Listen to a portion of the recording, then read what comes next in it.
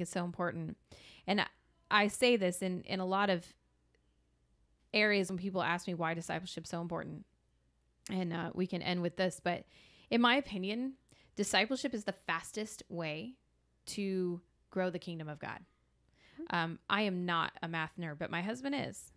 And um, when you look at the model that is discipleship, I have the opportunity maybe to disciple a handful of people in my life. We'll say 5 Mm-hmm. Um, might be more than that, might be less, but what, we're just going to use five for this example. And I get to disciple those five women. Mm-hmm. If I am um, discipling these women in a way that allows them to go on and be disciples of Christ without me, Mm-hmm. right? Because the idea is not making them more like me, but making them more like Christ. Exactly. If I can make those five women disciple makers, then they're going to go on in their life and they're going to disciple women themselves. Let's say each one of them disciples five people. Mm-hmm. We've now got the five of them plus the 25 disciples that they've made. That's 30 women. There is just not enough life to be able to disciple the 30. Mm-hmm. Okay. Maybe you do have time to disciple 30 ladies. Great. Now take those 30. They all go and get to disciple five ladies. You're now talking 150 women. Mm-hmm. There aren't many people that have time to really deeply disciple 150 women in their life. Right. And so, and then those 150 go out, go ahead and do the math. That's like, I don't know, 750 or something like that. Someone's screaming the number at us. They did it really fast in their head.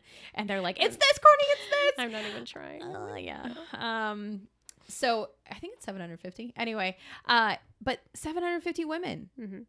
And that's only in a couple generations. Now imagine if every woman in your ministry, every single woman, I go to a big church too. Mm-hmm. So if every woman at our church was ministering to five people, immediately that would be somewhere in the I don't know, 800 to 1000 range Mm-hmm. because we go to a big church. Yep. And now get each one of those women to disciple five more people. Now we're talking in the the thousands, the tens of 1000s Mhm. It is an exponential way to experience or to grow the kingdom of God.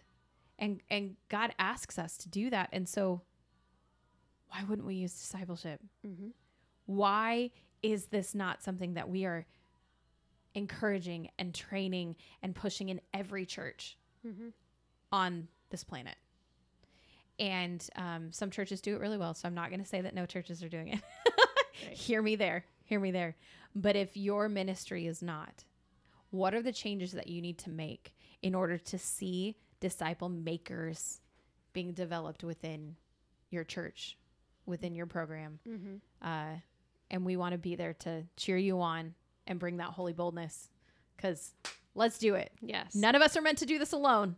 I'm not telling you you have to go out and do it alone. We're not meant to do it alone. No.